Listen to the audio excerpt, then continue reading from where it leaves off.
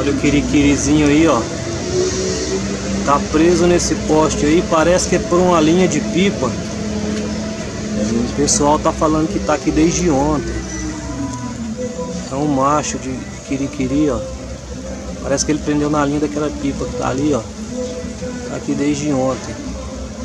Pessoal da CPFL, bombeiro, nada ainda? Nada, nada. Ninguém, nem, ninguém. ninguém nem responde. Ninguém nem responde. Aí pessoal, complicado, hein? Aqui pessoal, ó. Tá aqui resgatado. O pessoal da CPFL veio aqui. É, conseguiu tirar a pipa que ele tava enroscado. Só que como dá pra ver ali, ó. Tá com a pata quebrada. É, vamos, quebrada ou né, luxada, né? Pro, provavelmente. Tem que, tem que ver ainda. Vamos tentar cuidar do bicho aqui da melhor maneira possível. Vamos atualizando vocês aí. Aqui o, o, o falcãozinho, né, Kirikiri, que estava preso no poste. Tá, tá bem cansado, o, o rostinho seco, provavelmente. Claro, né, tá bem desidratado. Vamos hidratar ele agora. Com as asas, aparentemente, não tem nada. Tá tudo, tudo ok com as asas dele. É um machinho, né, adulto. É... Dá pra ver que tem um pouquinho de sangue aqui nessa pata. Acredito que foi algum arranhado. Que deve ter enroscado na linha de pipa, né? Na linha da pipa com o cerol. Ele estava preso pela cauda. A linha da, da armação da pipa enrolou aqui na cauda. Tá tudo amassado. Isso aqui a gente consegue desamassar. Perdeu duas penas, o que não é muito.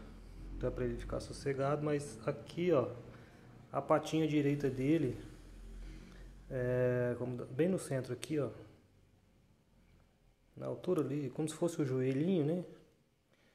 É, parece, aparentemente tem uma calcificação grande, só com raio-x para saber. Talvez uma fratura já calcificada, não sei.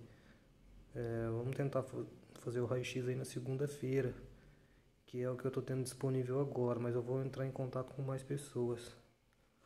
É, enfim, aparentemente é isso. É, pode ser uma fratura antiga, pode ser uma fratura de ontem que esteja. Bom, se fosse de ontem, provavelmente estaria bem mais inchado a pata, né? Não sei, isso aí é só um médico veterinário mesmo, né? Mas tá aí o bicho, ó, vamos hidratar ele agora e cuidar.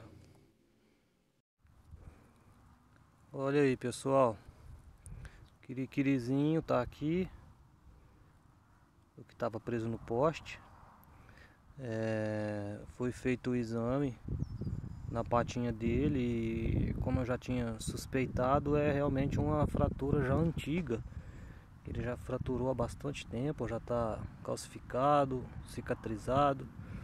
Então ele até consegue usar essa patinha né? Ele tá tá gordo tá bem gordo tá hidratado agora ele comeu três ratinhos de sábado para hoje, três camundongos, né? Dá pra ver que tá com as asas aí inteirinhas, ó.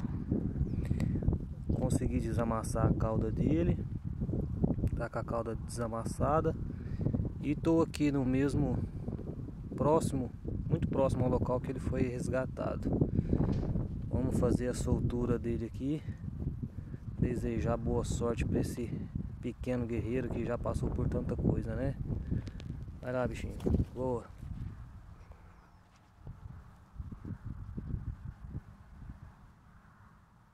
Foi embora. Ó, tá voando bem, ó. Voou longe. Vai pousar lá no poste. Pousou lá, ó. Olha o, o guerreirinho aí, ó. Tá de volta à vida livre. Tá observando o movimento aí. É, já tá bem adaptado, né, a viver com essa patinha fraturada dele. Então, desejar aí boa sorte para ele sempre. E que espero vê-lo outras vezes livre quando eu passar por aqui. Aí, ó.